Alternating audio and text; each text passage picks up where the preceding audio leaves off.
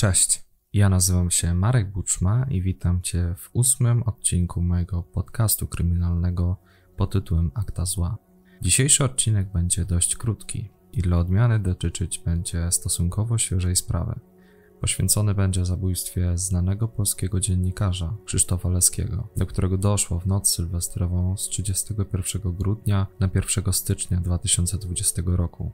Sprawa ta jest o tyle interesująca, że oskarżony o popełnienie tej zbrodni zeznał, że został do niej zmuszony przez samego diabła. Jakie były okoliczności zbrodni i dlaczego zabójca postanowił odebrać życie akurat temu, znanemu ze swojej dobroci człowiekowi? Jaki był motyw?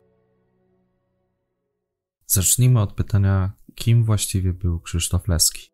Urodził się w 1959 roku. Był absolwentem Wydziału Mechanicznego Energetyki i Lotnictwa. Jego ojciec, Kazimierz Leski, był bohaterem narodowym, który walczył w Powstaniu Warszawskim. Zasłynął tam jako dowódca kompanii o pseudonimie Bradley. Jego matka, Elżbieta Pleszczyńska, była zaś profesorem zwyczajnym nauk matematycznych. Krzysztof Leski karierę dziennikarską rozpoczął na początku lat 80. w prasie Niezależnego Zrzeszenia Studentów, a potem Agencji Solidarność. W stanie wojennym był internowany.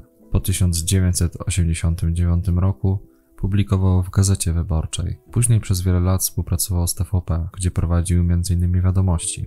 Publikował też m.in. we Wprost, Polityce i Press. Pracował jako reporter dla ponad 50 gazet. Mimo imponującej kariery dziennikarskiej, uzdolniony był również matematycznie. W swojej karierze pracował również jako programista przy pierwszych komputerach Atari.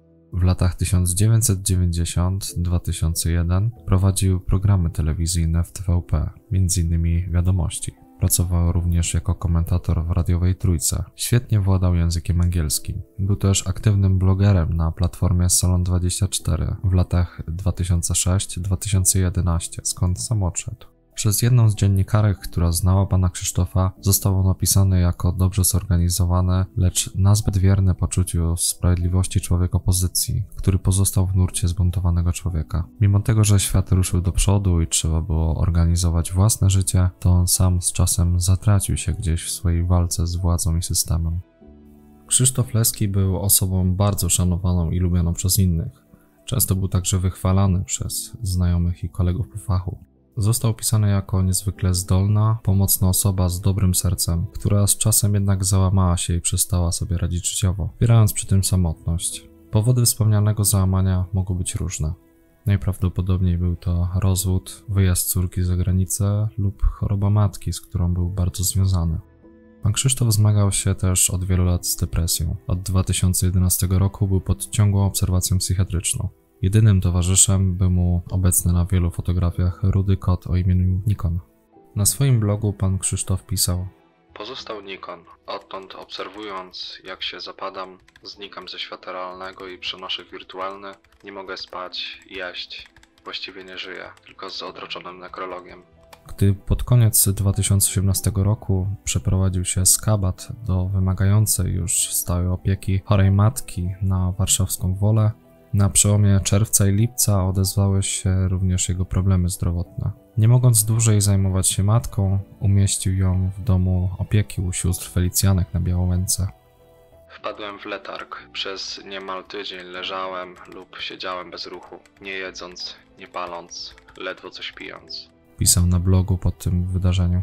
W mieszkaniu na Woli został tylko on i jego rudy kot Nikon, Pan Krzysztof prowadził również swojego bloga o nazwie leskipedia.xyz. Umieszczał na nim prawie codziennie wpisy, często niejasne. Były to jednak przypadkowe myśli wyrażające jego aktualny stan ducha. Często wpisy umieszczane były na zmianę, raz po polsku, raz po angielsku. Pisał w nich także o chorobie swojej matki, o kolei, będącej jego drugą pasją, a także o polityce. W połowie października 2019 roku wpisy urwały się na ponad dwa tygodnie. Po tym czasie pojawił się wpis opisujący po angielsku jego bezprawne zamknięcie w szpitalu psychiatrycznym. Twierdził on, że został do tego zmuszony przez policję, ponieważ zażądał zatrzymania stalkera, który nękał jego matka. Ciężko powiedzieć, czy rzeczywiście historia ze stalkerem była prawdziwa, czy może były to jakieś wstępne objawy schizofrenii lub innej choroby psychicznej. Jedyną potwierdzoną i udokumentowaną chorobą pana Krzysztofa była bowiem sama depresja. Na pewno wiadomo jednak, że w samym szpitalu psychiatrycznym spędził on kilka tygodni i to właśnie tam poznał swojego przyszłego zabójcę. Kim w takim razie był morderca? O Łukaszu B. wiadomo niewiele. Pochodził z okolic Szczecinka i w chwili popełnienia zbrodni miał 34 lata. Znany był również policji. Wielokrotnie karano go za drobne wykroczenia, głównie za przestępstwa przeciw mieniu.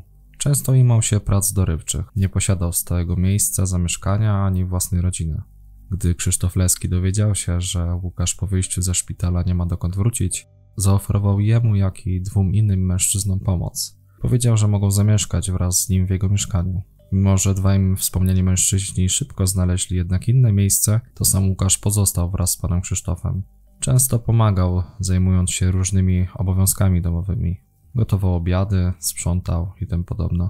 Mężczyźni żyli ze sobą w dobrych relacjach i do samego końca nic nie zapowiadało tragedii, jaka wkrótce miała się wydarzyć.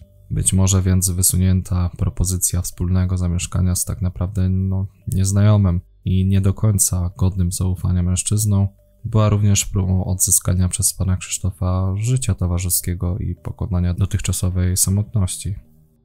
31 grudnia 2019 roku Krzysztof Leski napisał na blogu Wbrew wielu szczegółom, porażka opieki nad mateczką, fatalny szpital, to nie był aż tak zły rok. Odzyskałem wiarę w sens życia, będącego czymś więcej niż codzienna wegetacja. Pogodziłem się z rzadkimi znakami życia od dzieci, uznając je za dobry znak. Niedługo po opublikowaniu tego postu, w środku nocy z 31 grudnia na 1 stycznia, do pokoju, w którym spał pan Krzysztof, wszedł Łukasz B. W jednej z rąk trzymał nóż.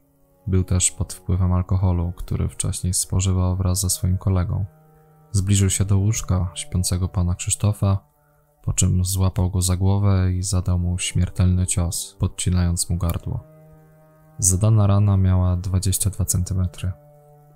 Po odebraniu życia mężczyźnie, Łukasz B. opuścił mieszkanie na warszawskiej Woli, wynosząc przy tym znalezione karty płatnicze, telefon i inne rzeczy osobiste ofiary. Nie wiadomo dlaczego mężczyzna zdecydował się odebrać życie osobie, która no, podała mu pomocną dłoń, oferując schronienie, którego w trudnym dla siebie okresie potrzebował. Czy chodziło wyłącznie o pieniądze, czy może był jeszcze jakiś inny motyw? Kilka dni później, 6 stycznia 2020 roku, męczony przez wyrzuty sumienia zabójca postanowił samemu oddać się w ręce policji. Podszedł do patrolujących krakowski rynek funkcjonariuszy, podał swoje dane i zapytał, czy nie jest aby poszukiwany. Następnie oświadczył, że w noc sylwestrową pozbawił życia znanego dziennikarza. Okradł jego mieszkanie i przez 6 dni za zebrane 1000 zł jeździł bez celu po Polsce. Był w tym czasie w Gdańsku, Szczecinku, Częstochowie, no i w końcu w Krakowie. Tego samego dnia, chcąc potwierdzić otrzymane informacje, grupa policjantów udała się do mieszkania Krzysztofa Leskiego. Mieszkanie znajdowało się na warszawskiej woli. Policjanci i wezwani do pomocy strażacy wyważyli drzwi, a po wejściu do środka znaleźli zwłoki 60-letniego mężczyzny. Posiadał on widoczne obrażenia, świadczące o tym, że padł ofiarą przestępstwa. Czytamy w oficjalnym komunikacie krakowskiej policji. Po zatrzymaniu Łukasz B. w trakcie przesłuchań zapytany o to, dlaczego zabił, zeznał: Podpisałem pakt z diabłem że będę co miesiąc zabijał człowieka. Pan Leski był pierwszy. Około godziny pierwszej w nocy diabeł przyszedł i kazał mi go zabić. On musiał mi przypomnieć o tym pakcie, bo ja zapomniałem. Gdy diabeł znów przyjdzie, dokonam zabójstwa kolejnej osoby. Nikt jednak nie dał wiary zeznaniom oskarżonego. We wrześniu 2020 roku prokuratura rejonowa Warszawa-Wola w Warszawie skierowała do Sądu Okręgowego w Warszawie akt oskarżenia przeciwko Łukaszowi B., w którym oskarżono go o morderstwo i kradzież. Sąd nie dał wiary, że oskarżony działał pod wpływem demona. Nielogiczne i sprzeczne z materiałem dowodowym są także wyjaśnienia oskarżonego złożone w dniu dzisiejszym w którym powiedział, że do zdarzenia doszło na skutek obrony koniecznej. Czemu wcześniej tego nie powiedział? Czemu nie uciekał, czując zagrożenia? Sąd uznał, że zmiana wyjaśnień jest linią obrony, mającą na celu przedstawienie Krzysztofa Leskiego jako agresora. Sytuacji, która według oskarżonego miała zajść, nie sposób sobie wyobrazić. Gdyby była jakaś awantura, pokrzywdzony by się bronił. Na pewno by się tak dobrowolnie nie poddał. Stwierdziła sędzia Kachnowicz. Opiniujący w sprawie biegli psychiatrzy nie mieli wątpliwości co do poczytalności oskarżonego w chwili dokonania czynu. W toku postępowania Łukasz B. przyznał się do zarzuconych czynów. Pogrzeb Krzysztofa Leskiego odbył się 17 stycznia 2020 roku na warszawskich Powązkach. Żegnały go tłumy, a wśród nich jego dawni koledzy i fani. Łukasz B. zabił swojego dobroczyńcę, który dał mu dach nad głową, pomagał mu stanąć na nogi. Zabił człowieka dobrego, ufnego i życzliwego. Został określony jako osoba wysoce zdemoralizowana, która działała z wyjątkowo niskich pobudek. Chodziło zatem najprawdopodobniej tylko o pieniądze. Za jedyne okoliczności łagodzące uznano skruchę i chęć przeproszenia rodziny przez oskarżonego, a także trudne warunki, w jakich dorastał. I tymi oto słowami dotarliśmy do końca. Bardzo dziękuję słuchaczu za Twój poświęcony czas. Przypominam też, że wszelkie źródła, z których korzystam przy przygotowywaniu danych odcinków, zawsze podaję w opisach. Zapraszam Cię również do obserwowania podcastu na Spotify i zasubskrybowania kanału na YouTube, a także do dołączenia do grupy i polubienia strony podcastu na Facebooku.